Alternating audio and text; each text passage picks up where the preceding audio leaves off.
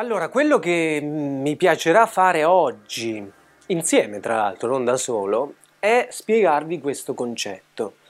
Comunque sia, una vita bella o una vita brutta è un sogno.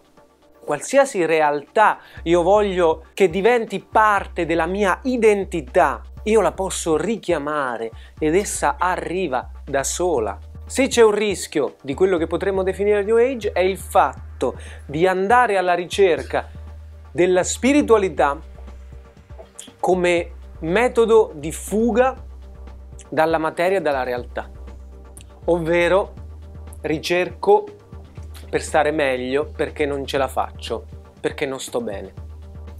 Ecco, questo è la cosa che noi dobbiamo riuscire a cambiare, è la nostra metamorfosi. Una situazione di vita che non vogliamo può accendere il desiderio di dire chi sono io. Poi un giorno dovrete diventare voi i sognatori e i registi che dirigono il sogno e si divertono a sognare. Perché quello è il risveglio più ambito non uscire da questa materialità. Voi potete definire chi siete e cosa realizzare e cosa vivere. Lo potete fare, avete questa libertà. Una libertà divina concessa a voi.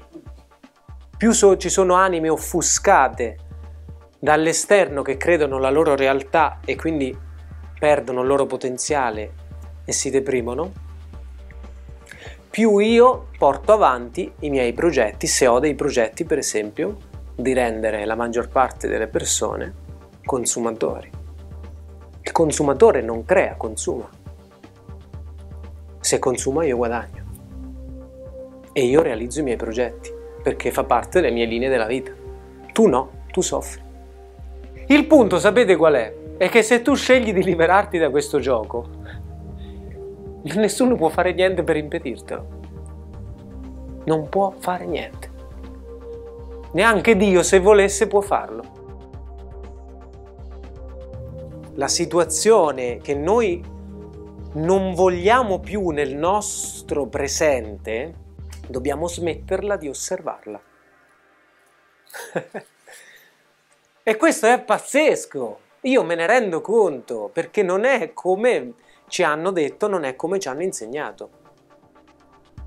Dobbiamo smettere di osservarla.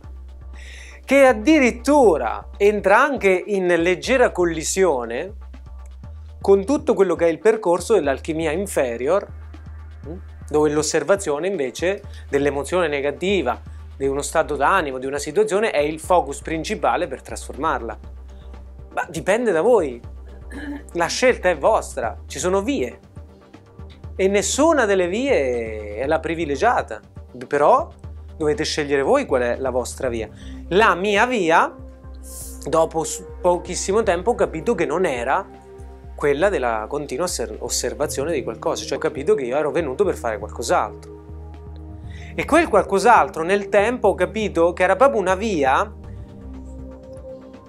un po' più fuori di testa, perché non è, eh, non è proprio quella più terrestre. Mm? Devi ridere, devi scherzare, devi sdrammatizzare, devi giocare come quando giocavi quando eri piccolo. Se no vieni preso dalla trappola del mondo, del mondo che ti dice chi devi essere, cosa devi fare, come devi farlo, sei adulto, hai delle responsabilità, hai dei figli, devi essere così, devi essere così.